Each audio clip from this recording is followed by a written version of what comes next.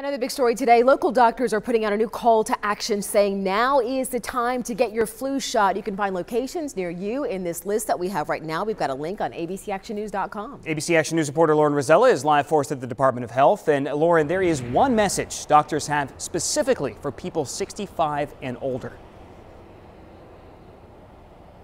That's right, James. So if you are in that age range, they're asking that you ask for the high dose version of the vaccine. It's designed to produce a stronger response to better protect older adults. Now, doctors are telling us that it is still not too early to get your flu shot. That's because last year, the CDC says more than 700,000 people came down with it. It can take the flu vaccine up to two weeks to fully protect your body, so it's important to get that shot early even though the flu shot's not going to 100% prevent you from getting the flu, it's the best chance you've got.